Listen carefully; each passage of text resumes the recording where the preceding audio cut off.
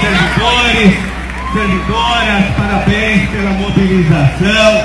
Nós estamos aqui também emanados nessa grande luta contra o confisco salarial, contra a farsa da reforma da Previdência, porque nós sabemos que não tem crise no IPREM, porque os governos, os sucessivos governos municipais retiraram bilhões de reais do nosso fundo previdenciário. A prefeitura deve para os servidores. Ela fez má gestão, não investiu corretamente os recursos, ela tem que devolver para o IPREM.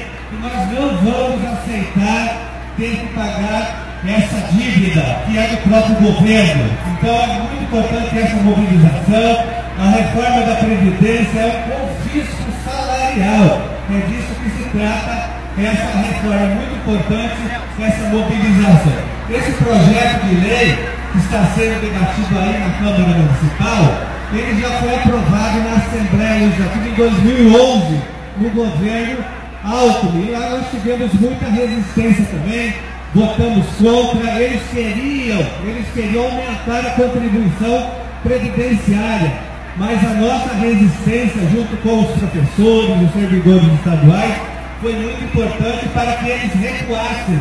E eles só conseguiram aprovar lá, com o nosso voto contrário, apenas a, a Previdência complementar, mas não teve aumento da contribuição. Nós não vamos aceitar o confisco salarial agora. Porque o que a Câmara Municipal está fazendo é uma covardia de tentar aprovar o projeto na calada da noite, no apagar das luzes do mês de dezembro, apostando na nossa desmobilização. Estou se engano, porque nós estamos aqui, nós estamos nas redes sociais e o vereador que votar a favor desse projeto de confisco salarial terá o seu nome escrito cartazes nas redes sociais como traidor da cidade de São Paulo. Nós vamos divulgar o nome dele durante dois anos.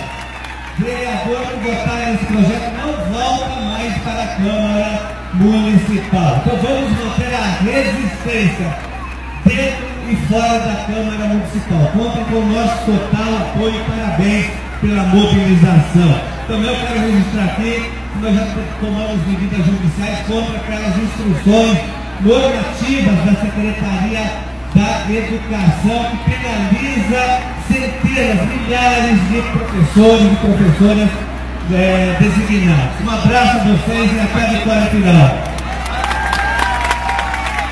Mais tempo.